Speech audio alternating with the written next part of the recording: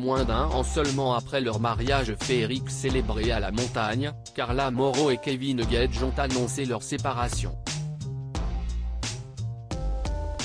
Une procédure de divorce a été entamée et les ex-amoureux se partagent désormais la garde de leur petite fille Ruby, 3 ans.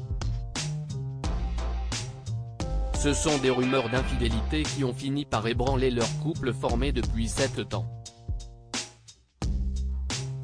Des accusations toujours démenties par Kevin Gage même s'il aurait depuis bel et bien retrouvé sa réputation de jaguar, soit de coureur à femme, comme l'avait laissé entendre son ami Paga.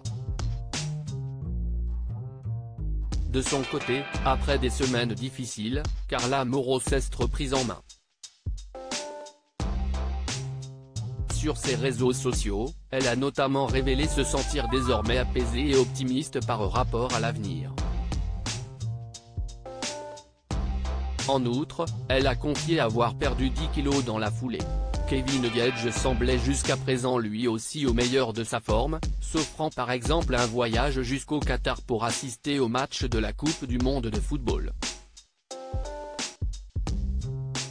Mais, jeudi 26 janvier, il a laissé savoir que tout n'était finalement pas si rose pour lui alors qu'un internaute lui demandait des nouvelles à l'occasion d'une session questions-réponses sur Instagram. Il a en effet vraisemblablement exprimé quelques subtils regrets vis-à-vis de son ancien quotidien.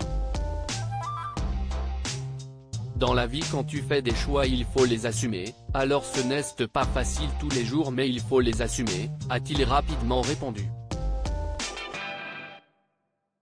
Déjà en novembre dernier, Kevin Gage partageait son ressenti autour de cette situation particulière, ne pensant uniquement qu'à au bien-être de sa fille Ruby.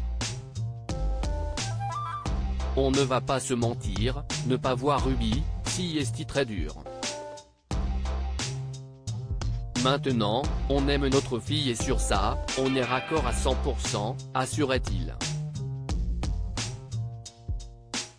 Malheureusement, les jeunes parents n'ont pas l'air d'avoir d'autres points d'accroche pour l'heure.